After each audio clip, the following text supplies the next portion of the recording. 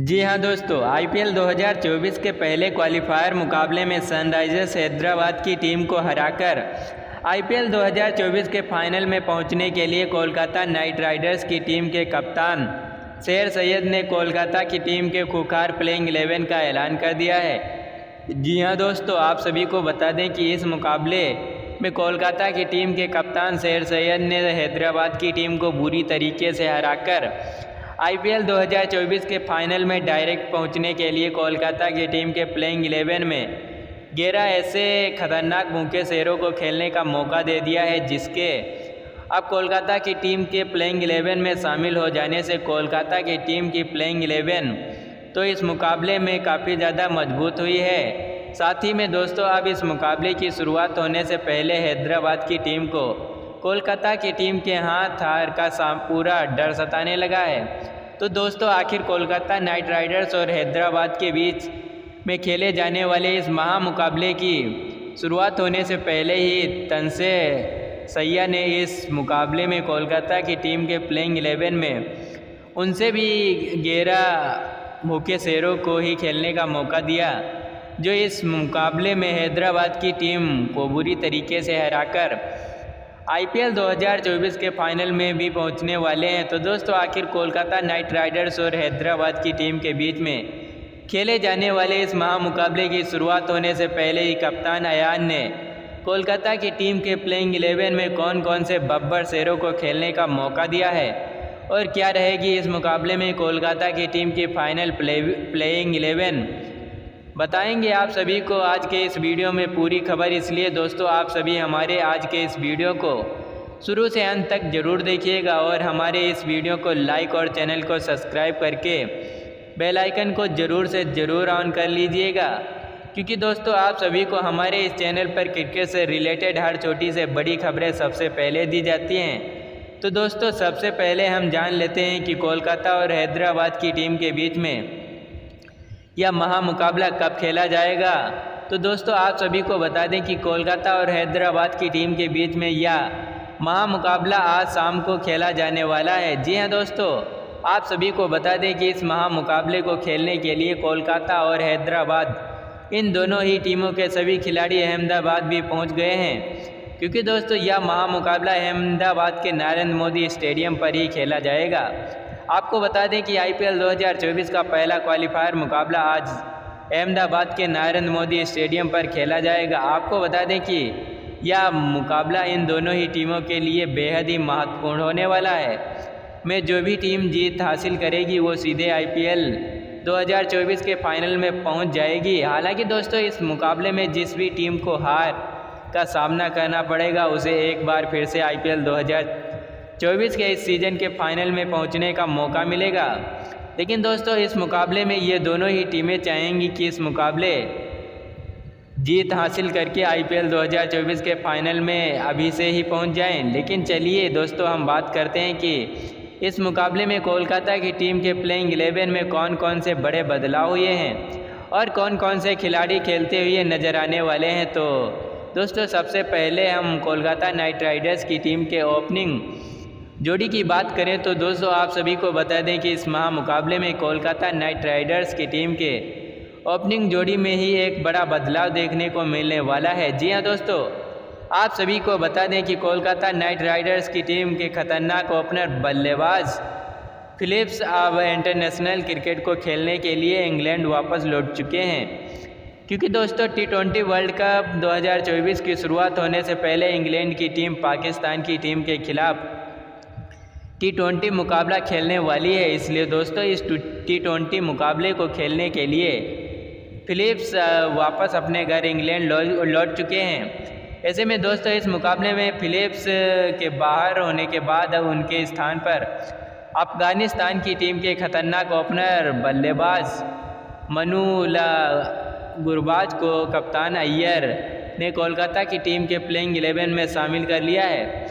जी हाँ दोस्तों, आप सभी को बता दें कि रहमान उल्ला गरवा आज भी टी ट्वेंटी फॉर्मेट के काफ़ी खतरनाक और सरफरोश बल्लेबाज में से एक हैं और टी ट्वेंटी मुकाबले में बल्लेबाजी करते हुए रहमान उल्ला गुरबाज का प्रदर्शन काफ़ी खतरनाक करता है। इसीलिए दोस्तों, इस मुकाबले में रहमान उल्ला गुरबाज अपनी खतरनाक बल्लेबाजी से कोलकाता की टीम को काफ़ी खतरनाक शुरुआत दिलाने वाले हैं। हालाँकि दोस्तों आईपीएल 2024 के इस सीज़न में रहमान गुरबाज कोई भी मुकाबला नहीं खेले हैं। लेकिन दोस्तों, इस मुकाबले में ये देखना काफ़ी ज़्यादा दिलचस्प होने वाला है कि इस बड़ा मुकाबले में गुरबाज अपने बल्ले से किस तरीके की प्रदर्शन करते हैं। तो दोस्तों रहमान उल्ला गुरबाज के अलावा इस मुकाबले में सुनील नारायण एक बार फिर से अपने बल्ले से खतरनाक बल्लेबाजी करने के लिए पूरी तरीके से बेताब हैं।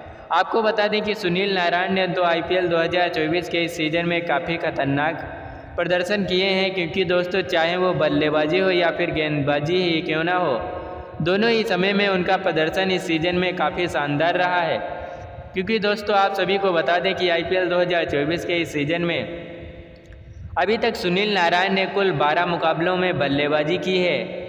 और उन 12 मुकाबलों में ओपनिंग बैटल में आकर बल्लेबाजी करते हुए कुल चार सौ इकसठ रन भी बना चुके हैं। साथ ही में दोस्तों, गेंदबाजी भी करते हुए इनका प्रदर्शन काफ़ी शानदार रहा है, क्योंकि दोस्तों, उन 12 मुकाबलों में गेंदबाजी करते हुए सुनील नारायण ने कुल पंद्रह विकेट अपने नाम किए हैं। ऐसे में दोस्तों, इस मुकाबले में भी एक बार फिर से सुनील नारायण अपनी गेंदबाजी के साथ साथ अपनी बल्लेबाजी से हैदराबाद की टीम के बल्लेबाजों के परखज्जे उड़ाते हुए नज़र आने वाले हैं, जबकि दोस्तों, इन दोनों ही बल्लेबाजों के अलावा। अब हम तीसरे नंबर की बात करें तो दोस्तों, इस मुकाबले में कप्तान अय्यर ने तीसरे नंबर पर वेंकटेश अय्यर को बल्लेबाजी करने का मौका दे दिया है। जी हाँ दोस्तों, आप सभी को बता दें कि वेंकटेश अय्यर भी कोलकाता नाइट राइडर्स की टीम के काफ़ी खतरनाक विस्फोटक बल्लेबाज में से एक हैं। आपको बता दें कि आईपीएल 2024 के इस सीज़न में जब जब भी वेंकटेश अय्यर को बल्लेबाजी करने को मौका मिला है, तब तब वेंकटेश अय्यर ने अपने बल्ले से काफ़ी खतरनाक बल्लेबाजी की। आपको बता दें कि इस मुकाबले में भी एक बार फिर से अपने बल्ले से खतरनाक बल्लेबाजी करने के लिए वेंकटेश अय्यर पूरे तरीके से तैयार हो चुके हैं। क्योंकि दोस्तों, वेंकटेश अय्यर जब बल्लेबाजी करने के लिए मैदान में आते हैं तो इनके सामने कोई भी गेंदबाज टिक नहीं पाता है। क्योंकि दोस्तों, ये काफ़ी लंबे लंबे शॉट लगाने के लिए जाने जाते हैं। इसलिए दोस्तों, इस मुकाबले में भी वेंकटेश सैयर का जलवा देखने को मिलने वाला है।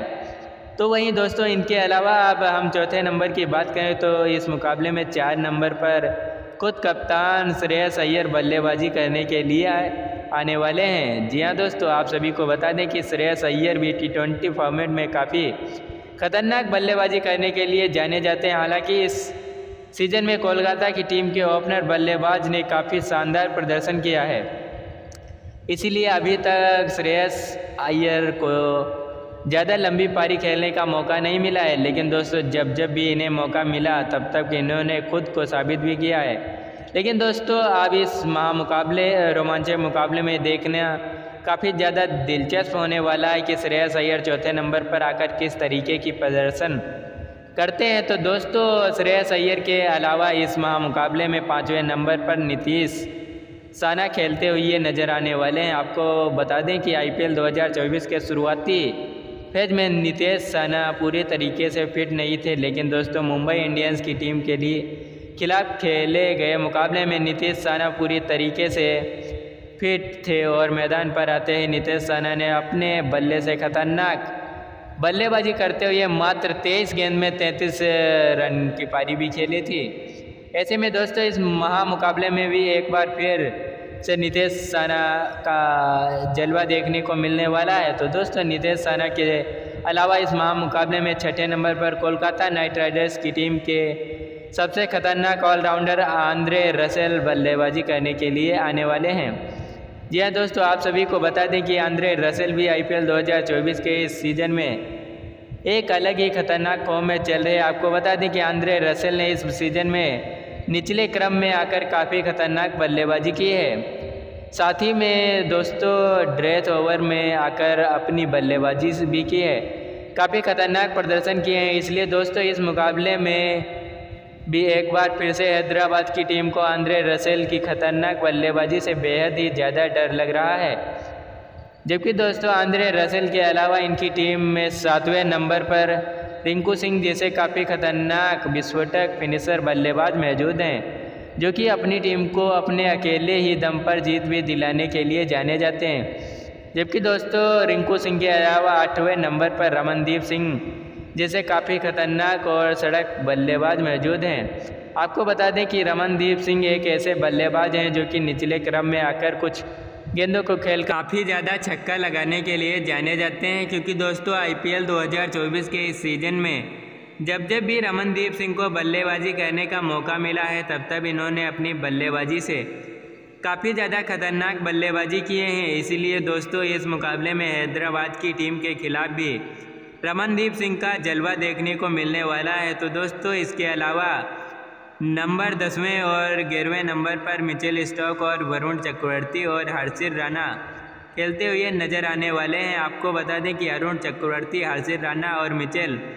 स्टार की खतरनाक गेंदबाजी ने आईपीएल 2024 के इस सीज़न में काफ़ी शानदार प्रदर्शन किया है। खासकर दोस्तों हासिर राणा और वरुण चक्रवर्ती की गेंदबाजी आईपीएल 2024 के इस सीज़न में काफ़ी ज़्यादा शानदार ही है। ऐसे में दोस्तों, इस महा मुकाबले में भी एक बार फिर से इन तीनों ही गेंदबाजों का जलवा देखने को मिलने वाला है। तो दोस्तों, यह था कोलकाता नाइट राइडर्स की टीम का फाइनल प्लेइंग इलेवन, जो कि आपसे बस कुछ ही देर में हैदराबाद की टीम को हराने के लिए अहमदाबाद के नरेंद्र मोदी स्टेडियम पर उतरने वाले हैं। वैसे दोस्तों, आप सभी को क्या लगता है, इस महामुकाबले में कौन सी जीत टीम जीत हासिल करने वाली है। आप सभी नीचे कमेंट करके हमें ज़रूर बताएँ और हमारे इस वीडियो को लाइक और चैनल को सब्सक्राइब करके बेल आइकन को ऑन करना बिल्कुल भी ना भूलें। जय हिंद।